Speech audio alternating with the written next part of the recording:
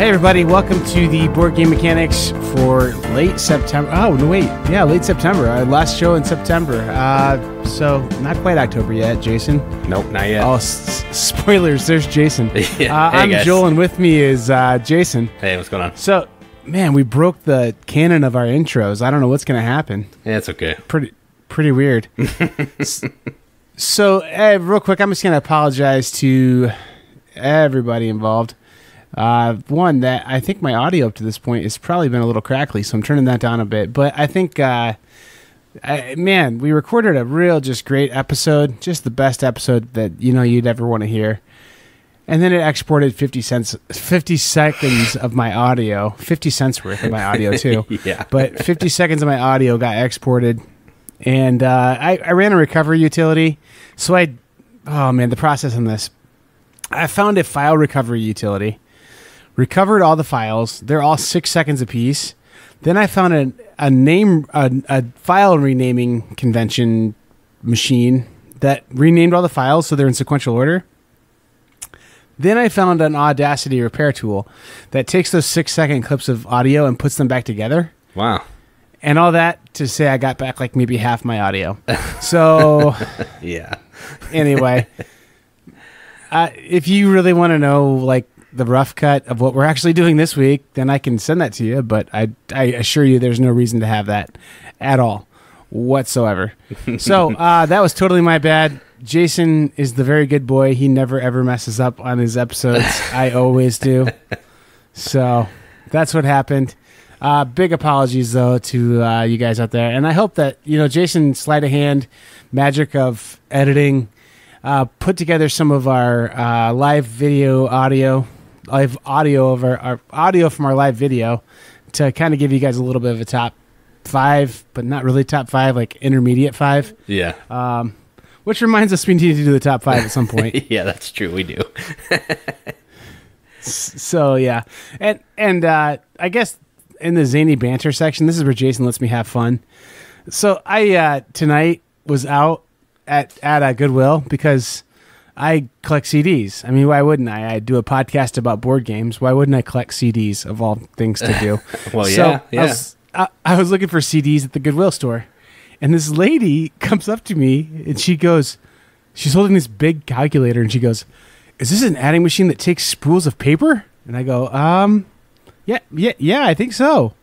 And the lady just seemed like she might have been an accountant, I, for all I know, but like she was so excited for this spool of paper, and she was probably as excited to get a spool of paper as I would be to get my copy of Dinosaur Island from Kickstarter.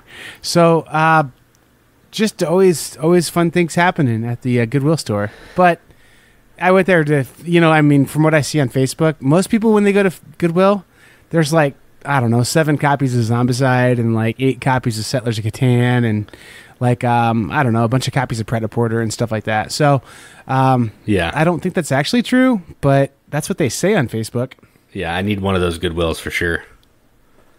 They don't exist. yeah, I'm sure.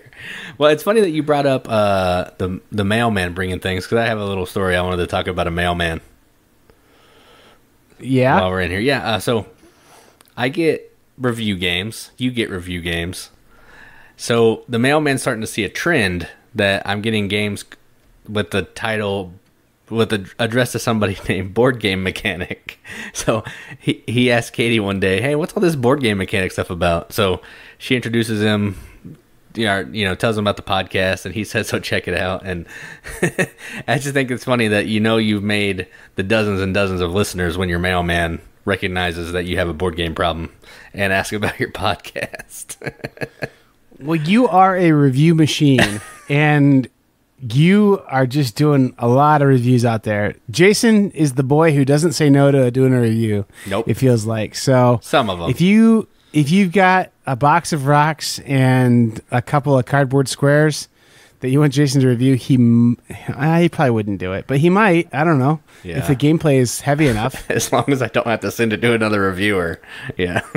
Oh yeah, that's a that's a rough trend. yeah. Not a fan of those. Well, and then there's a kind of paradoxical nature to your reviews too, because you can be a real nasty man, or you can be a real good boy when it comes to those reviews, based on uh, how much cursing you want to have in the company's name. yeah, that is true. I I'm doing a little cursing in this next one, so we'll see. Yeah, cheap cheapest games. yeah. Oh yeah, that's funny.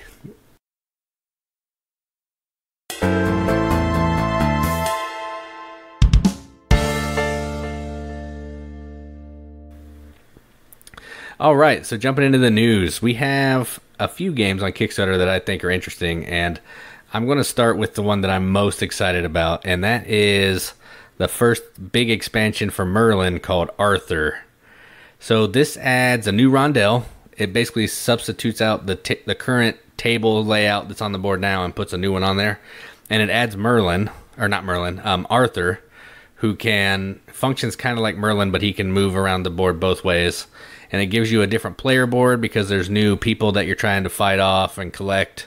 And it just looks like it makes the game go from crunchy to even more crunchy. So i'm in all the way. I backed this as soon as i saw it and merlin expansion arthur super pumped.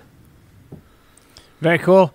And since it's on Kickstarter, I assume there's like at least six or eight minis on there. no minis at all Yeah, it's just. I mean, let's just call it what it is. It's Queen Games pre-order system. That's fine. i'm supposed to have it by november that's what it said That's insane. yeah it's pretty awesome There, there may there well there may be more copies of the expansion than actual Merlin out there. I mean, honestly, I mean, like I don't know, you don't see that game anywhere. no It's crazy. I, I think it's kind of hard to find still. So yeah i got Yeah. i got mine at origins and i haven't ever seen it at a store ever me me either, ever. And I've been looking. So yeah it's crazy to to you know like go, hey Jason, another one. You don't have the only one in America. but I haven't been able to prove that yet. So Well, next BGM Con, I'm definitely bringing it, and you're gonna have to play it because it is one of my favorite games probably right now. really Yeah, I love it a lot. cool. I've I've never heard you just like go on about it. So I I guess uh, I don't know. We're gonna have to we're gonna have to do a password here, Jason. All right, everybody. The password is hashtag We Want a Merlin review. Yeah, I thought about it. I'm pondering it. We'll see if we can get enough comments. Maybe I'll do it. All right, I'm commenting right now. All right. Well, while you comment, I'll talk about some other games. Uh, the next game that I wanted to talk about is called the Stygian Society. This is from designer Kevin Wilson, I believe, and this is uh, like a com- cooperative dungeon crawl that uses a cube tower. So each baddie and hero has certain cubes that they're going to throw into the tower to determine the outcome of the battle. And at the bottom of the tower, there's this little dungeon, which is like a little square that's fenced in. If cubes bounce into the dungeon, they're worth double. But if they just come out at the bottom and don't go in the dungeon, they're worth single hit points. So you want good ones to fall into the dungeon. You don't want the bad ones to fall in there. And it's just seems like a, a pretty zany game. So I figured I'd mention it because that's actually the one dungeon crawl that I'm kind of interested in because it's super Euro-y. and I like that. Yeah, it's like Wolfenstein El Grande crawler. yeah, it is. It's essentially a card game with a cube tower. Sounds cool. Yep, I'm into it. Uh, the next game is a reprint of an old Spiel winner called Mississippi Queen. Uh, I'm not. I don't remember who's putting this out. I forget, but I didn't know much about this game until I looked it up because it's was out way. isn't it Foghat? I think is. I think the band that does Mississippi Queen is Mountain. Oh, oh, not Foghat. nice try though. I didn't know much about this game because it, it came out way before I started playing games. It was like '97 or before that. But essentially, you're like river boats, and you're trying to basically just be the first person to hit the end of the course, and maybe pick up some passengers along the way for extra points. And the way that it works is there's two little dials, which are like the the wheels, the paddles or whatever of the boat, and one is for coal and one is for distance you can move. So in order to turn, you have to spin coal, and if you run out of coal, your boat dies. So you're trying to manage your coal spend expenditure, expenditure, and not run into islands. Seems pretty easy. Not really my type of game, but it won the spiel, so people must like it.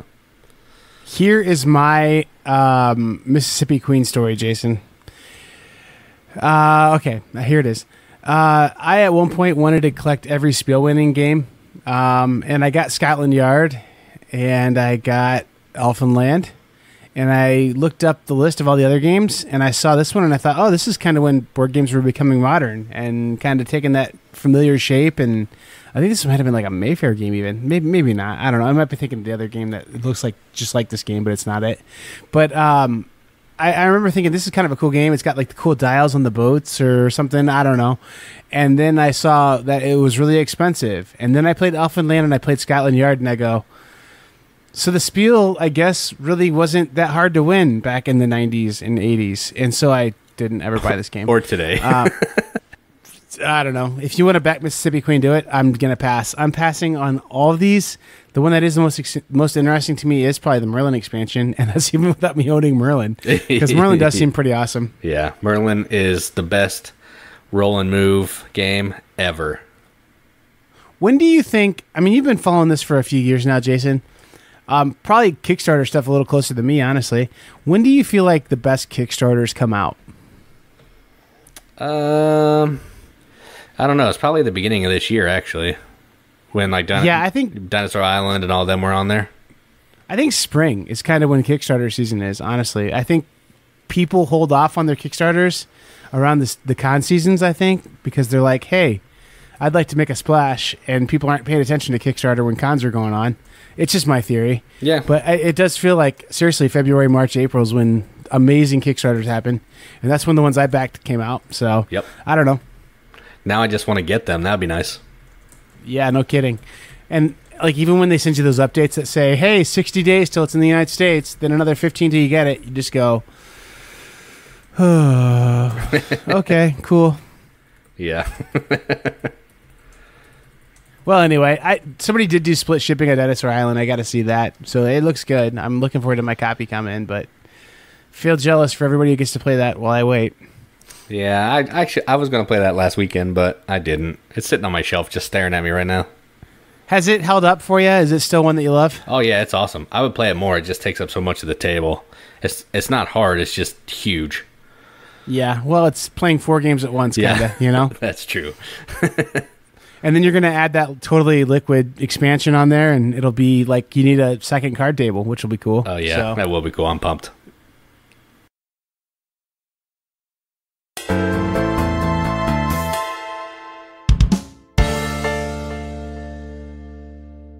All right, so I got to play a game I've been super pumped for this last weekend, and it did not disappoint. And the game is Symphony Number Nine by Moaideas Game Design. I don't know if even though that's how, it, that's if if that's how you say it, but whatever. Essentially, what this is is a stock speculation game and some blind bidding, where you're trying to earn reputation of these musicians so you can get composition tiles to perform them in a concert. And you're going to do this by taking cubes of their color off this board, and then your whoever has the majority of the cubes at the end of each each round is going to get the composition tile.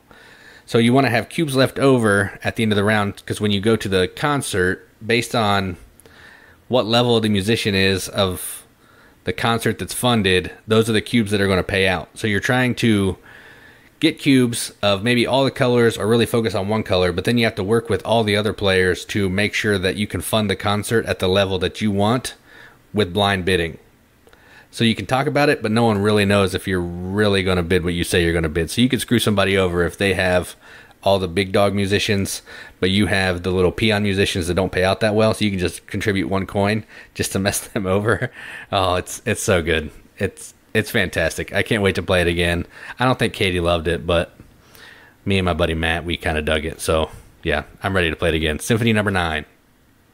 So three thoughts on this. Um, one, there's like this terrible, terrible storm rolling into my area, so I'm like kind of half paying attention to the weather to see if I need to like save my file and worry about a power outage.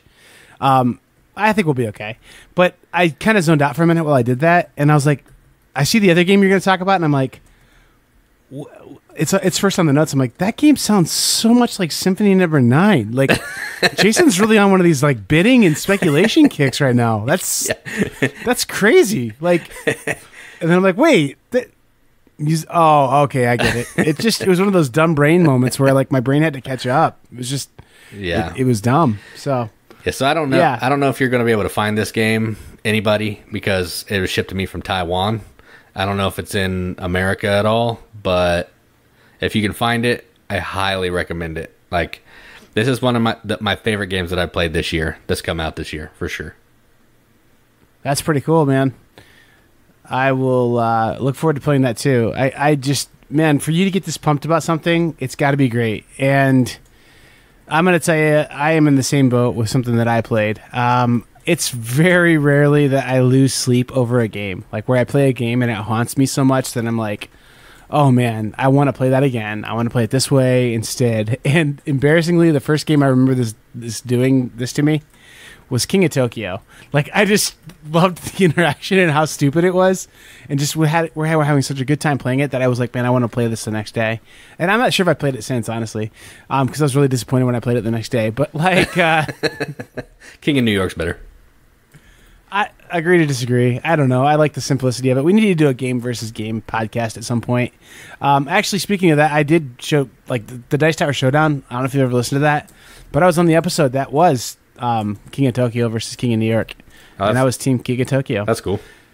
Um, I was on there with the Metal Meeple. No, no, no, no. That wasn't for that one. Uh, the Metal Meeple and I did. Uh, I don't even remember now. Something else. Uh, I don't know. Rock band manager versus I don't know. Not that's not true, but that was a funny joke. Very good joke about the, the Metal Meeple. Yeah. Um, the game I played was Brass, and it just haunted me, man. I just love this game so much. I get why it got a reprint. I get why there's versions of it that are, that are like spin-offs of it. It's just so good, and I don't even know how to explain why it's so good. It looks terrible. The edition I have, the, I played the first time I played. I played it twice over the weekend. First time I played, I played on the nice brand new Kickstarter edition, and it's really good. I mean, it's got some improvements on the graphic design and it's got some improvement on the card design and things like that that just do make it better.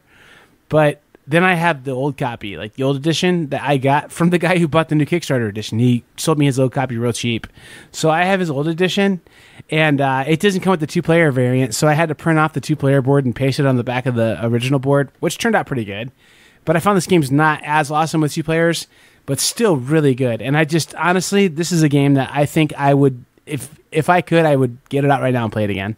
Like right now, this minute. I mean, I would go to bed late and just be tired the next day, kind of game. Like it's so good, and it's basically all you do is you're just putting down tiles in these cities that you have cards to give you like kind of the rights to do it, and just opening coal plants, opening up you know iron plants, opening up cotton plants, and the game's called Brass. But I mean, I don't.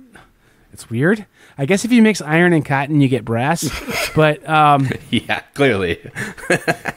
yeah, but it's it's it's really good though. It's it's really good. Um, it's I understand why it's held in such high regard. It's just a masterpiece of design. It's so good. Um, I understand the Martin Wallace genius thing now. I mean, he's just it's a brilliant game that you have these links that you have to get resources and build a network, but it's just there's so many good meaningful decisions on it, but the game isn't heavy. I mean, I think I don't know. People people out there in the world say it's a fairly heavy game. I guess it's a Martin Wallace game, but I mean, Jason, you're gonna call it Ticket to Ride, basically. I think. I mean, like It seems kind of light to me, lightish to me. Yeah.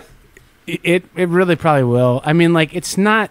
It's got super meaningful decisions, but the mechanics aren't thick. I guess really it's kind of like we almost need to have a discussion as the world of board gaming and saying what makes a game heavy. Is it that there's like convoluted, thick rules and there's lots of things to remember in the rule set, or is it that you have to make like really meaningful, difficult decisions?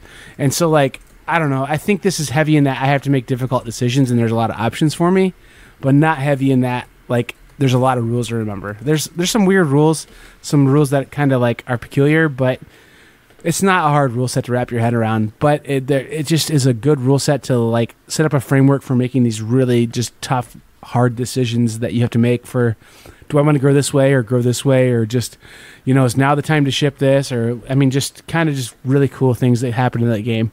And I again, speaking of board game mechanic cons, I think this is probably the third game on the list that we're gonna have to play. We're gonna have to have a 20 hour day, man, to get everything built put in. But this is one that I definitely want to play next time we get together.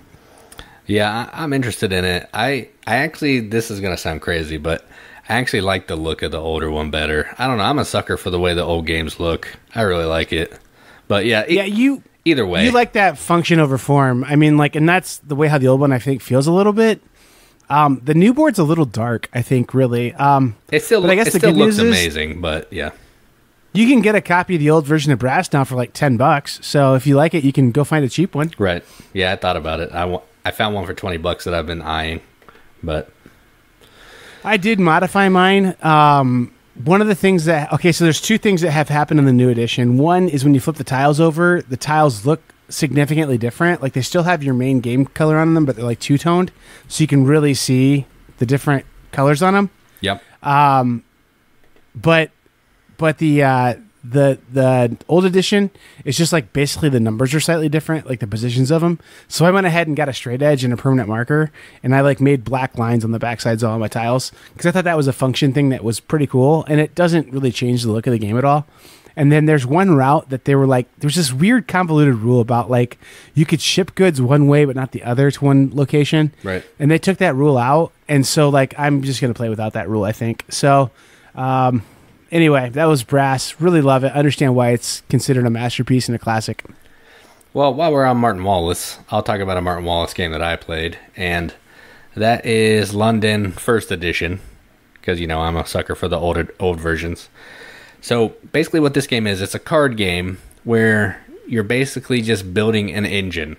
The whole game is about you playing cards to build an engine, and you're doing that to build buildings across the city of London on the map because every building you have built reduces poverty that is generated when you run your engine because your poverty that is generated is the number of cards you have in your engine minus the cities that you have built in London or the boroughs I guess you have built in London.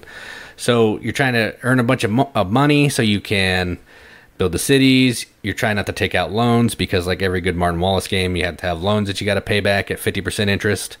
And yeah, it's it's good.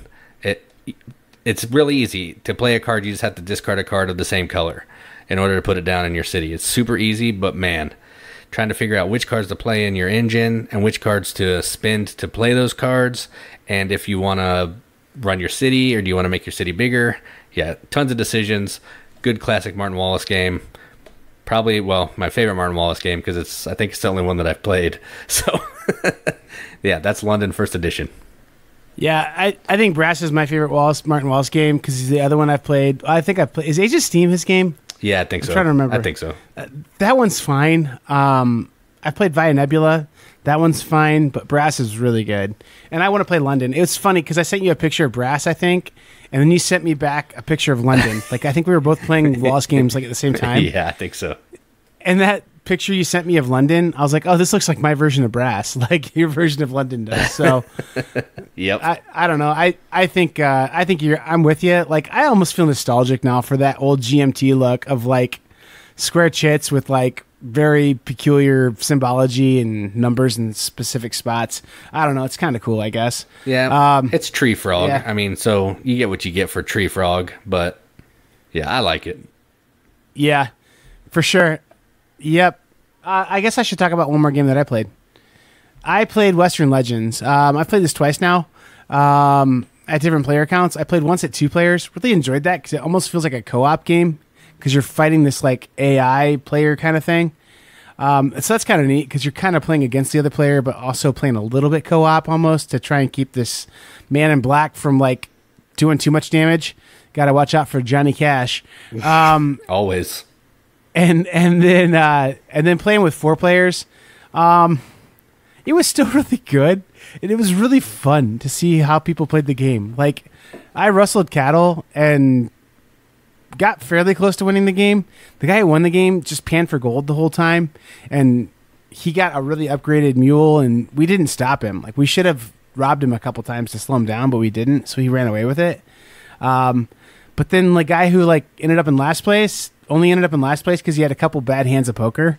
Um, but he was digging the fact that you could play poker, so he was just at the saloon playing poker the whole game and then when he earned enough money, he'd go to the brothel and earn some legend points, and then he'd go back and play more poker. Like, and that's a very legitimate way to play the game. So, I mean, just pretty weird that it's just a bunch of mini games that kind of go together and make a whole like course of a game.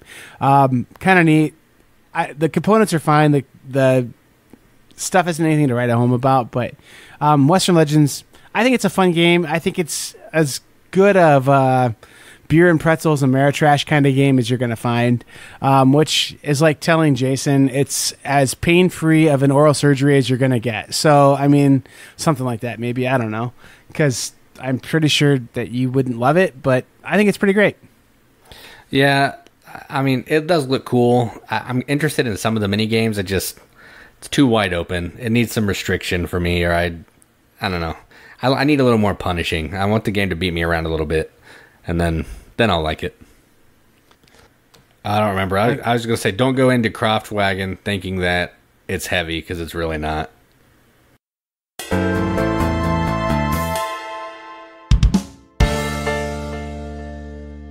All right, so we said we would answer your questions, so here we go. We're going to answer your questions. We had a post up on Facebook. We had about, I don't know, 15 or so questions. I could count them, but I'm not going to.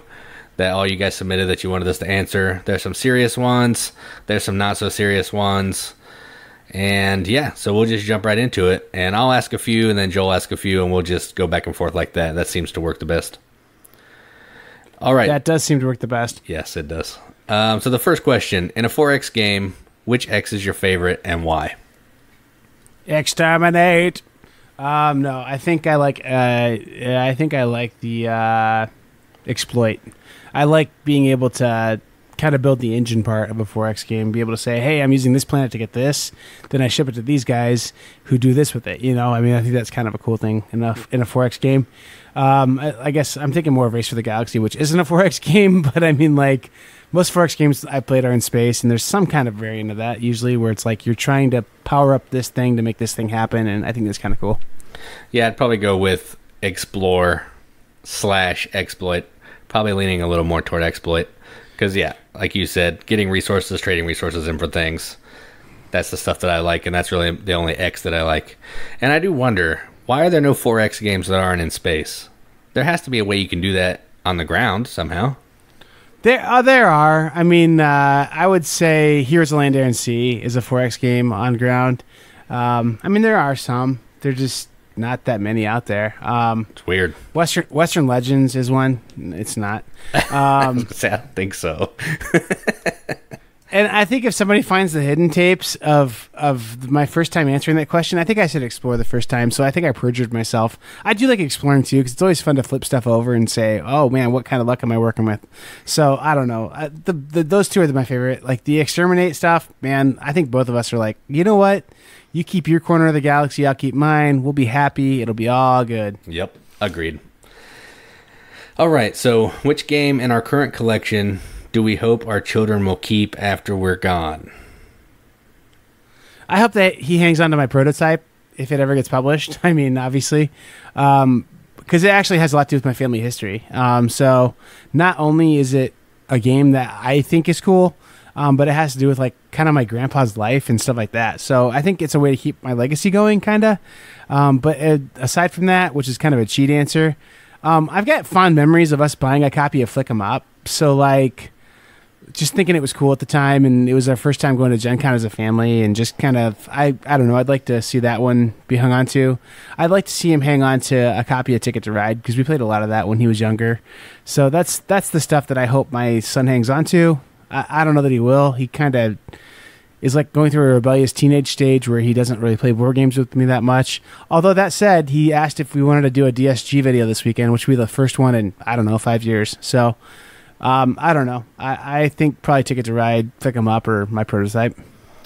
Yeah, I would say I gave an answer of Dragon's Breath last time in the Lost Tapes, which is probably true because that's the first game that the girls actually remember me playing with them. But I also think I'd want them to keep Trickerion because I got that with Katie on our 10th anniversary, and we went back to the hotel room and played it.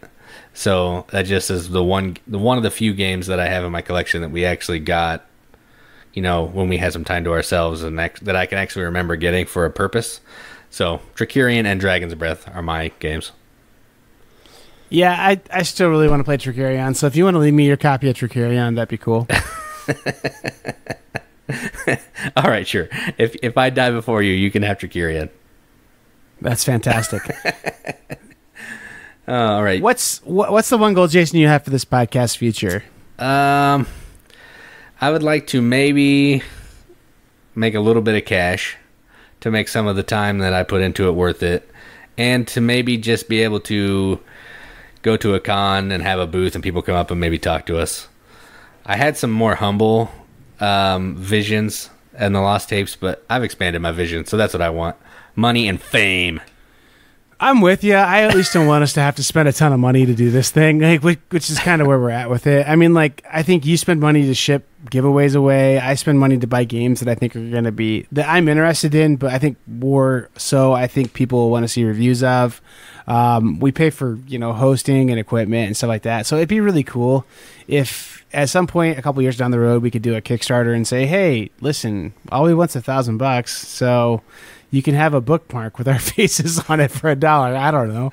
Um, Everybody wants But- that. but I mean, like, seriously, I'd love for us to at least like be able to make this thing. Not, I don't want to make tons of money off it. I just want to make it. It can pay for my hobby. You know what I mean? Like, um, I think that's probably where you're at for the most part. But I mean, like, if we got rich and famous off it, that'd be cool. I'm just gonna say it right now, Jason. I'm fine with you being our first full time employee. You can make that leap first. I'll be cool to follow once we are totally fiscally uh, solvent and we can pay us both six figure incomes. I'll jump on too. So it'll probably pay some hundreds, maybe hundreds of hundreds of dollars. Well, I mean, like we could do that. I mean, like we could answer the Dice Tower's emails. I mean, like that Dice Tower email we got where he's like, "Ah, dang, you guys figured it out. You perfected it. We just take over the the whole tower because you guys are the best boys. We want to let you have it." And we're like, "Tom, just keep doing it, man. It's cool." Like Yeah. that's so far from the truth because everyone rips off Tom Vasel's format when they do reviews, but Yeah, true. anyway yeah no uh, uh, whenever we say anything about the dice tower i hope people get we're always very tongue-in-cheek because we respect the heck out of those guys i mean for sure oh yeah, I watch the Dice Tower all the time. There's yeah, it's it's for sure jokes. Yeah. and tom vasel's wrong about games kind of a lot i mean like yeah, right, right. But he doesn't care. It's his opinion, so that's that's fine. yeah that's for sure game boy geek is is always right on though i think And Rahdo. He's my boy. yeah undead vikings my boy he's my secret love so that was our question that we just made up of who are the reviewers you guys love yeah. We're asking our own questions here. all right what's what's your co-host's favorite role and move uh, game this is a lot easier to answer the second time we record it Yeah. so i'm gonna say it's merlin for jason Yep, and I think yours is that stupid horse game, uh, home You shut your mouth. you shut your mouth when you talk to me. No, that game's amazing. uh, yeah, It's a it's a very good roll and move game for sure. yeah. I haven't played it. I'm just giving you a hard time. Where does the music from the podcast come from? Um, I skipped that one, but I didn't mean to. But I'm gonna just go ahead and give Jason a chance to have a shout out here. Uh, Jason, our very talented boy here, he um, made the music for this and a few other podcasts, I believe. Jason, go ahead and read off your IMDb page for us. yeah, I did the pod, uh, our theme song, the bumper music. I do bumpers for my videos, and I did the intro for the That's What She Said videos, and I also did the theme song for Board Games Outsider from Jay Peak, who's on Token Punch, Token Punch Lunch. He lives next to me, and we're kind of buddies on Facebook. So I said, "Hey, I wrote this. It sounds like your style, so here, take it." So yeah, that's where it comes from. And you throw you throw in some wrenches. Yeah, I threw some wrenches and air tools over the top of it. Um, that's my contribution. Make noise while Jason makes something beautiful. It's kind of how the podcast works too. Um, my my son actually did the music for my cardboard corner videos too. So that's the only credit that goes not to Jason. So um, yeah, cool. Uh, okay, wait, if you were going to do a, po- a podcast about something other than board games, what would it be? Go ahead, Jason. Um, let's see. I, I gave a different answer last time, but I think I might. Yeah, I probably got to stick with that. I'd probably do a podcast about music because that's what my other passion is playing and listening to music. So it would be a, a podcast about interviewing musicians or just talking about my favorite CDs or albums, records, whatever, metal, 90s alternative, Christian rock, whatever. All things music, all things awesome. That's probably what my podcast would be.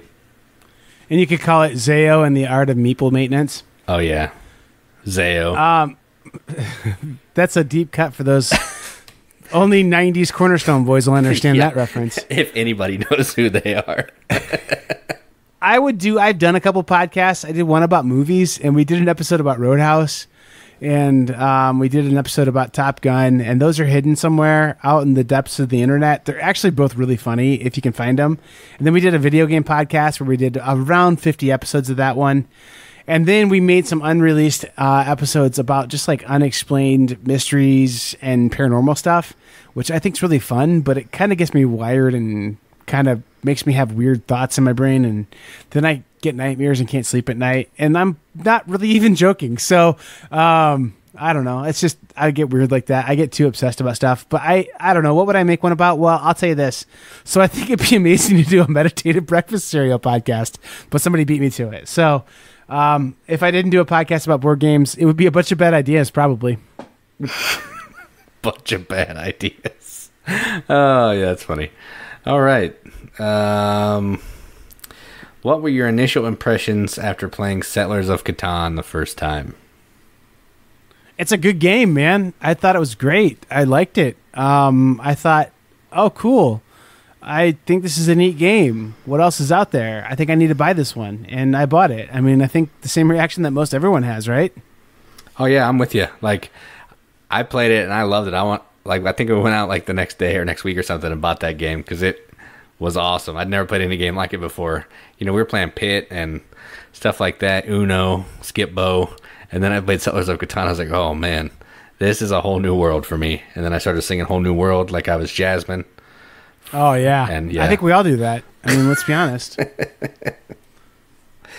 Yep. And and then I mean, because we're so progressive, usually our wives sing the Aladdin part and we sing the Jasmine part. oh, so. for sure, all all day long. Uh, no, I, I really, I mean, it was, I bought it and then it was right into Ticket to Ride and then it was right into Power Grid and then it was right into, you know, an addiction that I needed to get Dr. Drew to come talk to me about. the Love Doctor. Yeah. Celebrity Rehab, man. Oh yeah, I forgot about that. Um, what is our favorite game mechanism, and which game implements it the best? I like body dexterity um, and I think Twister does it best.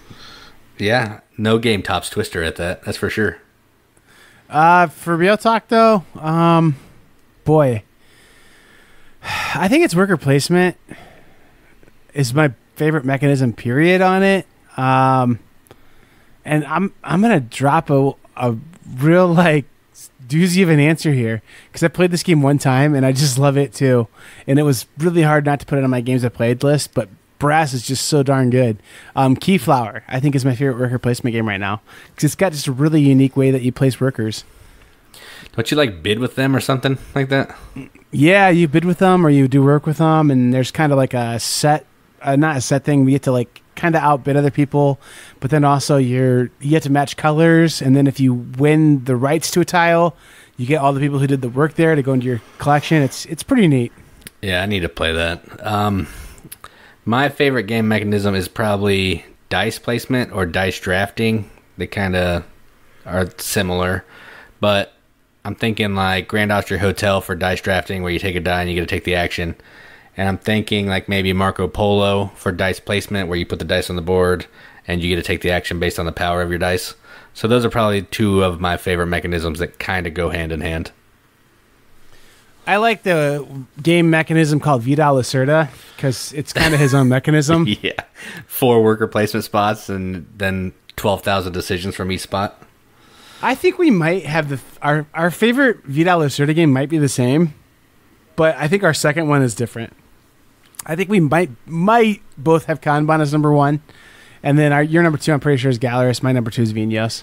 Uh, I think I thought Kanban was my favorite, but I think Vinhos might actually be my favorite right now. Whoa, that's crazy. Yeah, I've played that one more, so I kind of get the nuances of it now. So, yeah, I think I'm Vinhos all the way.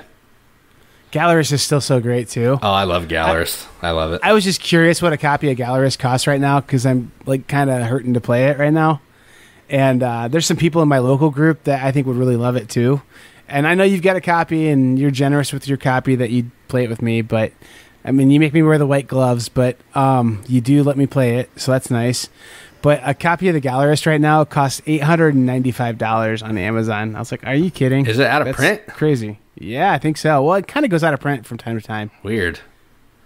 Yeah, so Jason, you could sell your copy for eight hundred ninety-four dollars, and then just wait a few months and buy like one copy plus a bunch of other things. I could. I'm not going to, but I could. if you could sell it for eight hundred ninety-four dollars, you should. But I don't know that anyone pays that kind of price. Yeah. Well, yeah, I would agree. Then I could buy Prêt-à-Porter, the two hundred dollar version, and I wouldn't feel bad about it. Well, and then you could buy more white gloves for making me play Gallerist with. That's true. uh, all right. So, what game do we think Darth Vader would enjoy the most? Loopin' Chewie. Ooh, that's a good one. Battling those stupid. What is that? Are those stormtroopers that you're knocking down? Yep, you're knocking the stormtroopers down. It's chickens in Loopin' Louie, right? Yeah, let's make it. Yeah, let's make it absurd here because that's probably real. I mean, that's probably what he would really like, honestly. Yeah, I can see that. what do you think, Jason? Darth Vader. Um, I think I gotta shut my phone off because I accidentally played a video. Um, good job. Uh, I think he would play Sekatsu. I can see him playing a little game with some birds, Yeah, moving birds around, trying to match the colors of birds. You know, I, I think he would enjoy that. It would bring out his inner, uh, his inner light side.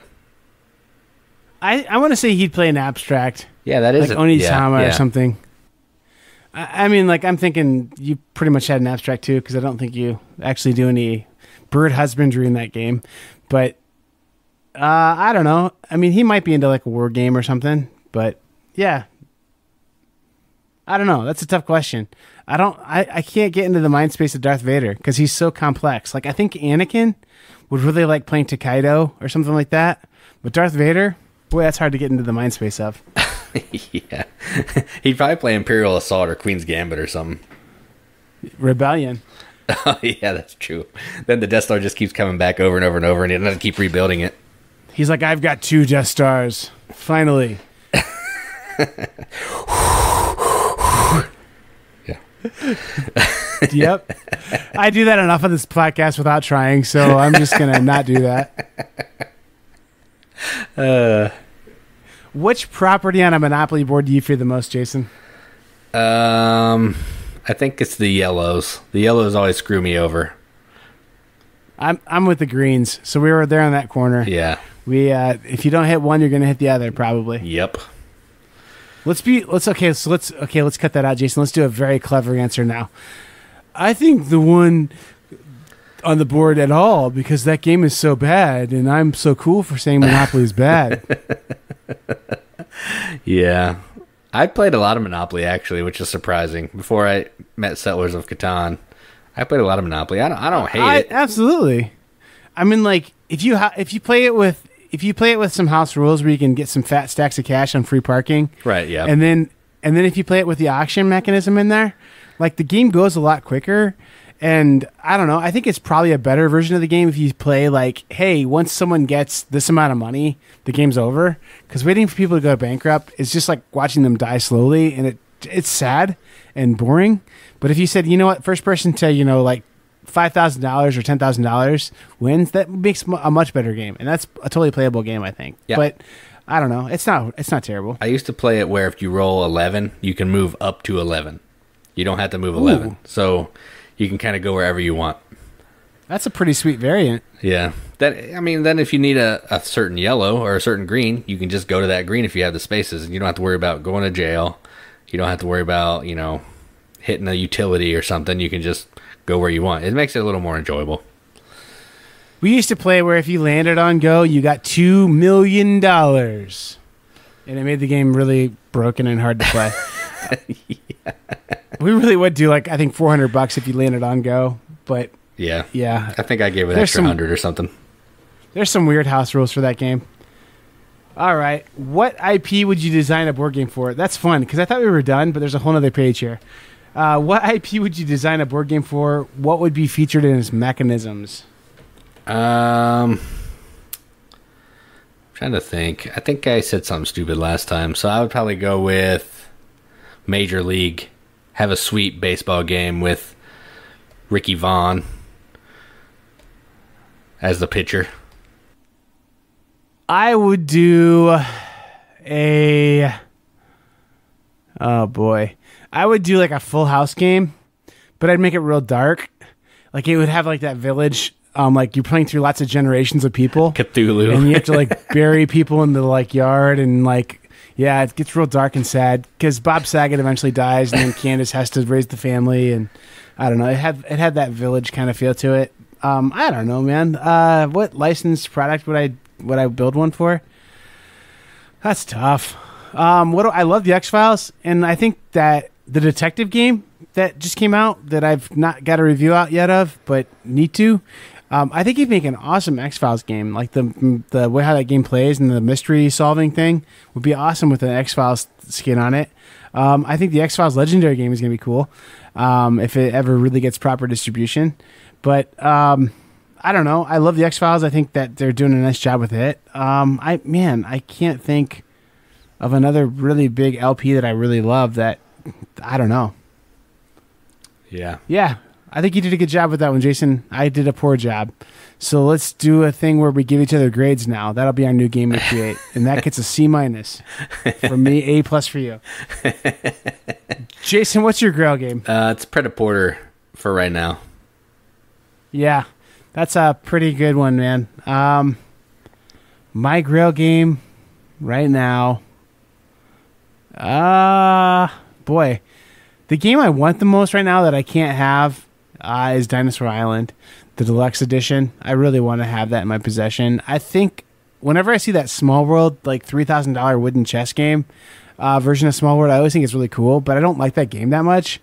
Um, I don't know, man. It's tough. Um, it's it's hard to say that there's a game that's just like, hey, I absolutely have to have that game and want it, um, and it's out of print and super rare because usually those games that are really good to me aren't going to be out of print that long. So I want Gallerist right now. I guess it's kind of a grail for the moment, but I got a feeling it'll get reprinted. Um, I don't know. Tough one.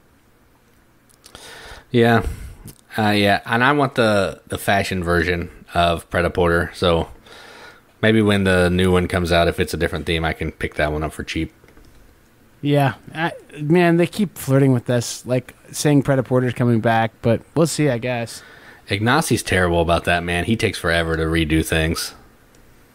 Well, like he had a tweet of the board design that was being done like eight months ago. So you'd think they'd have some news. Yeah, Maybe it'll just be a secret drop at Essen this year. I don't know. That'd be cool. that would be awesome. Nick for a Merry Christmas for that boy. Yes, it would. Um, what is William Shatner's greatest role? Uh, the Priceline Negotiator. oh yeah, I forgot about that. I think and you got to go Captain Kirk, right? Oh yeah, that's my favorite for sure. Actually, no, I take that back. I saw him as Two Face in this Batman cartoon. Ooh, That's pretty slick too. Harvey Dent. Yep. Is that Two Face's name? I, I that's something from the deep recesses of my brain that I don't know how it's there. Yep. I'd agree. Very cool. All right, so the last question is this is for little Rosie, the little meeple. And the question is what is Rosie's ideal date? So Katie, you can go ahead and answer that. Hi, everybody. It's Katie from Such Things as That's What She Said and a couple videos with Jason. So, um, I wouldn't say Rosie's little. She is actually a rather large meeple. She's big boned, if you will. And I don't know if Picorni is trying to uh, set Rosie up on a date with some other supersized meeples or what. But, um, you know, Rosie likes uh, other minis. Um, you know, not necessarily the really aggressive war type minis. You know, she's not in for those 40k guys, but I think she likes uh, She would like um, someone to have intelligent conversation, maybe a picnic, a nice stroll through the park, maybe some shipping on the Mediterranean, or uh, with a nice point salad or something. I think that that might be something like her ideal date. It's a good date. I like it. She's very Euro. All right, so there we have it. We have Rosie's ideal date. So this has been fun, I think, Jason, to answer these questions. Um, I hope that we get more questions in the future and we can do this again. And FAQs part two. Um, really enjoy that you guys care enough to ask questions. And I think some of the best questions are still out there. I just can't think of what they would be. Yeah, I mean, I'm sure if there are other questions, we'll hear about them once people hear the episode. If we didn't answer everything that they thought should be answered, but who knows? We'll find out. And I guess the good news too is that the next like 30 or so episodes probably are going to come straight from your guys' ideas that you gave us on the Facebook page. Yeah, Um, that's true. The only thing, I mean, I'm like not going to insult anybody because they don't listen to the podcast, obviously, if they did this. Like people who put up topics that we've already done. It's like, thanks, bud. We did that one already. I, I appreciate it. Good job. Thanks for listening. yeah. but speaking of that, we do need to pick a winner of the topic for next week. So we'll probably be doing that, I don't know, sometime this week and we'll shoot out a message to get your address if you're the winner. And you'll get some kind of surprise review game. Who knows what that is? We don't even know what that is, but stay tuned and you'll find out when you get it. It could be a copy of my unnamed prototype with half rules done. it could be. Cool. Well, hey guys, thanks for listening and keep gaming. Anything else, Jason? Nope, you covered it.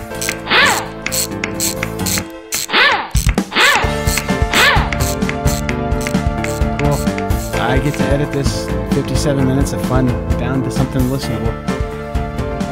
It always happens in the magic stages of post.